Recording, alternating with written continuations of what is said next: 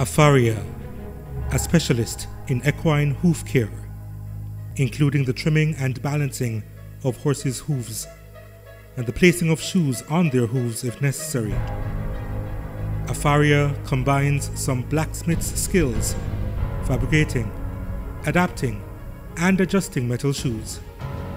We had a sit down with one of Caymanas Park's own farriers to briefly tell us about his career.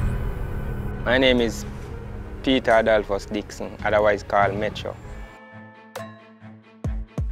I've been a farrier for about 20 to 25 years now. I came into Caymanas Park as an apprentice jockey, but it, it never worked out. And being there and see that the farrier used to come and show the horses them, and I think to myself, say, I think I could do that. And I just leave from the jockey thing and just start to go around a farrier until I learn. And this is where it brings me to. Before coming a, a, a farrier, you know, I was out there doing nothing, playing ball. And then I, I get my, my first experience being a father. And that pushed me now to know, say, me have to go do something for earn a dollar. So I come and come in a track and start off. I was first start with Alvin Kennedy, Garfield Reed, Zuguman, Alvin. And then this lady from abroad came by Mr. Wayne DaCosta stable by the name of Heidi. And she teach me for five, six years and everything just take off from there.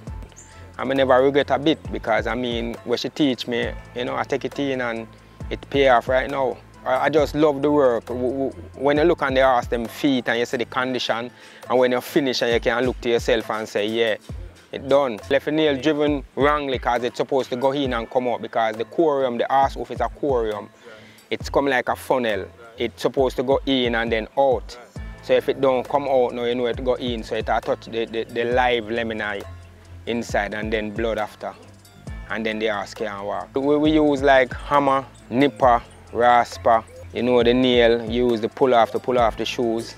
But the, the thing is this now, the most dangerous part of the tool is the nipper. Anytime you hold the nipper and close it, it, it have to just close. So anything it come out with, if it come out with flesh, blood, it have to just come out.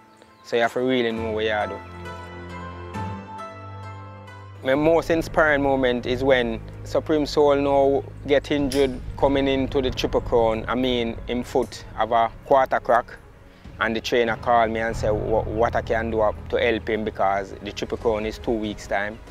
And I come and just start the procedure Wednesday and by Saturday I'm at the track again working. And him win the Triple Crown after that. Supreme Soul and Tuna Ciliato have gone by. He could have done it if he has. He has won the Triple Crown.